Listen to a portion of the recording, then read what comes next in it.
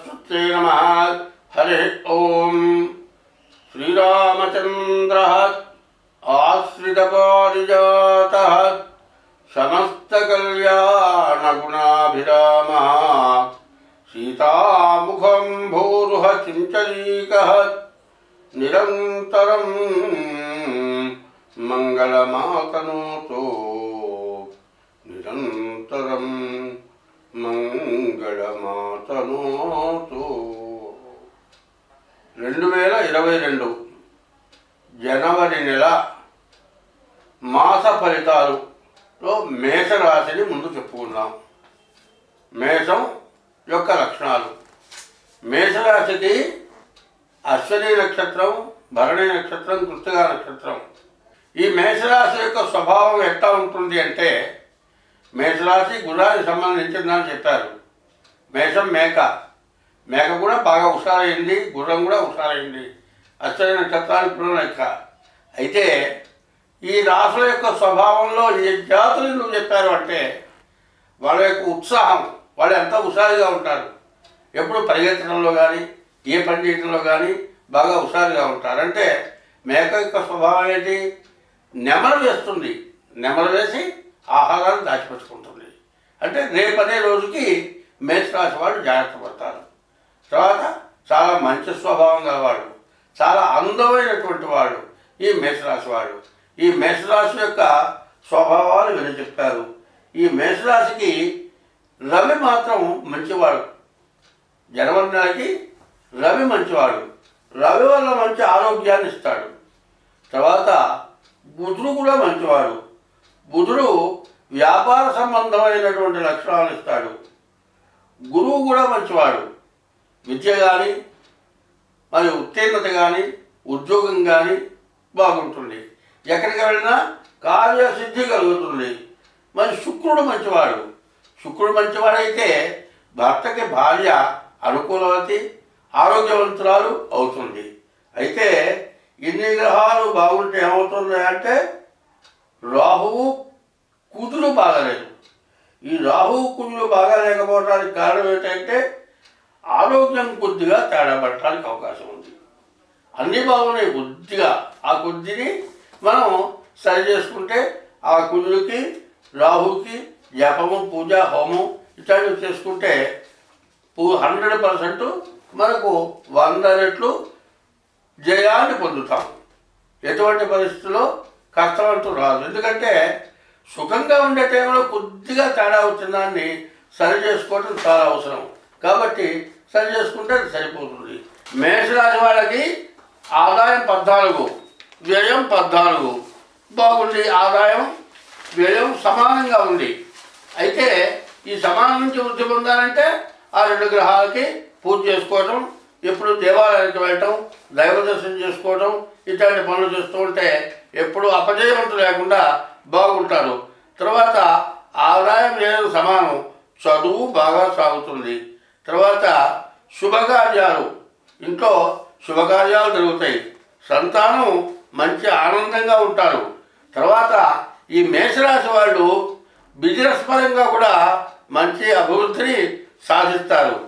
అయితే ఈ కుదురు రాహువు వల్ల కొద్దిగా నరదృష్టి ఉంటుంది. ఈ నరదృష్టికి తగినటువంటి పూజలు చేసుకోవడం అవసరం. తర్వాత ఏలినాటి శని వచ్చేప్పటికల్లా శని కూడా మంచివాడే. శని కూడా నష్టాన్ని చూపించేవాడు కాదు. అయితే కొద్దిగా శని వల్ల కొంచెం దోషం ఉంటుంది. అనారోగ్య సమస్య కొద్దిగా రావడానికి అవకాశం ఉంది. ప్రయాణాలు లాభిస్తాయి. కోర్టు వ్యవహారాలు జయమే సాధించడానికి అవకాశం ఉంది. విద్య ఉద్యోగం అన్నీ కూడా బాగుంటుంది.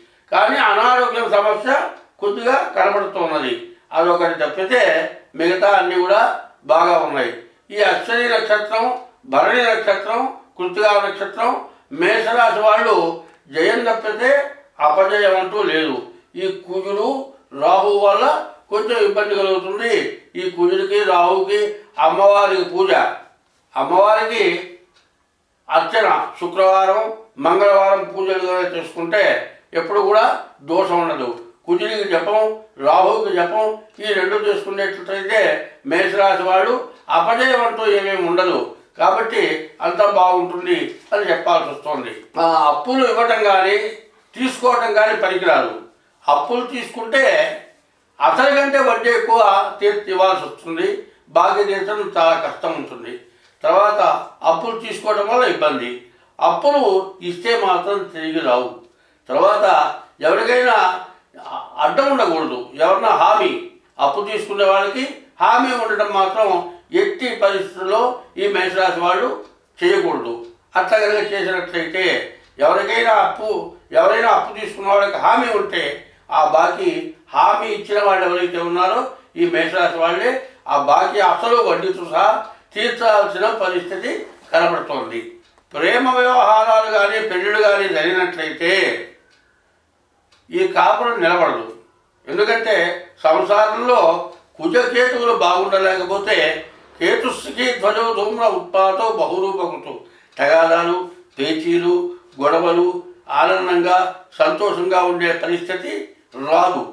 విడిపోయేటువంటి పరిస్థితి వస్తుంది. కాబట్టి మేషరాశి వాళ్ళకి ప్రేమ వివాహాలు అటువంటివి మాత్రం ఎత్తి పరిస్థితుల్లో పనికిరాదు. కుజకేతువులు రాహువు వీళ్ళంతా కూడా కాలసర్ప ఉండటం వల్ల ప్రేమ వివాహాలు అసలు పనికిరాదు. ఒకవేళ జరగాల్సి ఉంటే పెళ్ళిళ్ళు నిజంగా పెద్దలు చేసేటట్లయితే మాత్రం కాస్త గ్రహదోషాలు చూసి ఎట్లా చేయాలని పెద్దవాళ్ళని విచారించి ఆ వివాహం చేయడం చాలా మంచిదిగా కనపడుతుంది. భార్యాభర్తల వద్ద సమస్యలు.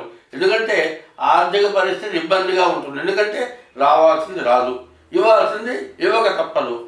అందువల్ల డబ్బుల దగ్గర కొంచెం ఏదో ఇబ్బంది కలుగుతూ ఉంటుంది. మాట మాట తేడా వచ్చే లక్షణాలు ఉన్నాయి. సర్దుకొని ఉండటం చాలా మంచిది. ముఖ్యంగా రెండు వేల ఇరవై రెండు ఈ జనవరి నెల ఇంతకుముందు చెప్పినవన్నీ కూడా పాటించడం చాలా మంచిది. బంగారం భూములు కొనటం కానీ అమ్మటం కానీ పనికిరాదు.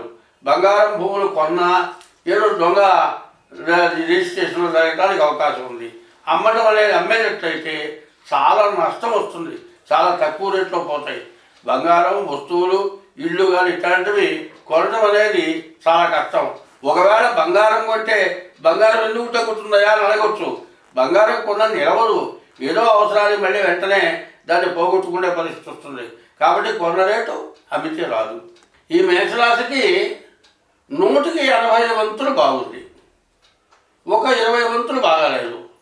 అంటే రాహువు కేతువు తర్వాత శని కుజుడు ఈ గ్రహాలు బాగుండకపోవటం వల్ల శని పూజ కుజుడికి జపము అమ్మవారికి పూజ రాహుకేతువులకు పూజ ఇది చేసుకుంటే ఏమీ ఇబ్బంది అంటూ జరగదు.